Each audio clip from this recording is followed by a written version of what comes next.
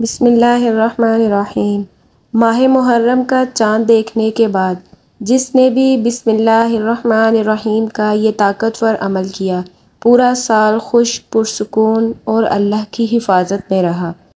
जैसा कि आप सब जानते हैं कि बिसमीम की बेशुमार फजीलतें हैं और हर काम को करने से पहले बिस्मिल्लाह पढ़ी जाती है। तो नया साल शुरू हो। उस दिन अगर बिस्मिल्लाह पढ़ी जाए तो बेशुमार इसकी फ़जीलतें हैं।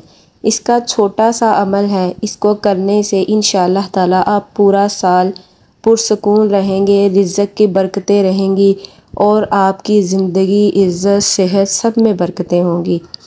आपने करना क्या है?